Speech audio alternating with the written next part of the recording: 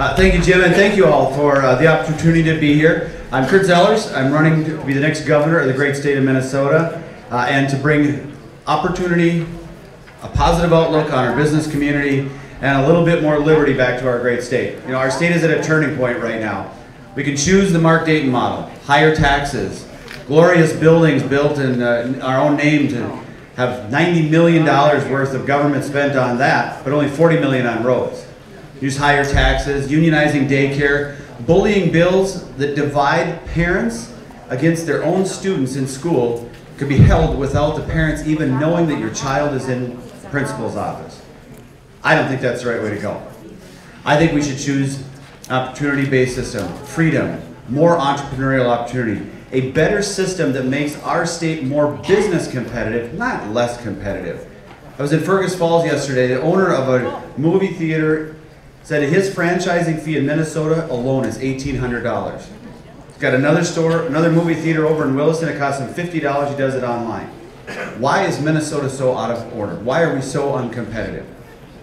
Now, a lot of the candidates you've heard from today will talk about what if, what I would do, what I could do.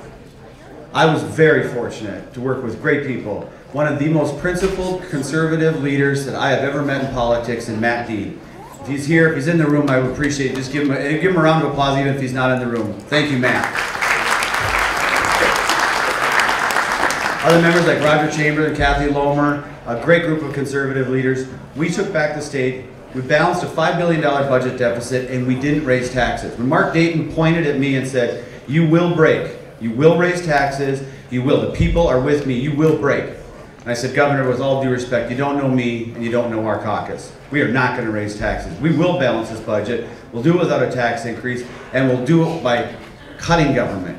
The day I left St. Paul, there were fewer bureaucrats there than the day I started. There was government at a smaller cost, 8% cheaper for our business community the day I left and the day I got there. And we did it not by just going out and cutting government and running against everything that is government. We did it with opportunity educational choice. We introduced lean technology that the business community uses to cut costs in their systems. We use in government. We ask government to do a little bit more with a little bit less. An odd concept, I know, in state government, but in the business community, in your family, in your lives, that's something you do each and every day. Again, I, have like great friends in this race. But as we go to the ballot this fall, I'm a middle class dad, married to a public school teacher, coaches his son's hockey team, goes to his daughter's dance recitals, traveled the state for 20 years. I have elected candidates on the Iron Range. I have elected candidates all across this state, Southwest Minnesota, Rochester, you name it. I have campaigned across this great state for 20 years. I was fortunate enough in my career at the very beginning to work for Senator Rod Grams, may God rest his soul. I learned what a real statesman is like. I learned what it's like to listen to the people you campaign for and then bring their ideas to the Capitol, bring their ideas to Washington. We can win on the Iron Range if we talk about mining, copper, nickel mine, open up those opportunities, and then build a smart factory that then increases the revenue of the state. And then the conversation isn't about a minimum wage or whether or not we're going to raise taxes. It's about which taxes are we going to cut and where are we going to get more workers for these new opportunities. That's a message we carry forward. Governor Dayton, President Obama, they lead by dividing. We see this group over here, they've got more money, let's go get it and give it to everybody else. As Republicans, we need to offer opportunity. Kim and I sent our kids to a charter school. School choice is something that will help us reach out to Minneapolis, St. Paul families that have probably never even heard of a Republican, let alone voted for one. We offer school choice. As speaker, that's what I did. We had parent trigger, we had charter school options, we had vouchers, we had the ending of LIFO. So in my wife's school, one of the best teachers she's ever taught with was thrown out of the school because she signed her contract one hour and 13 minutes after the guy before her.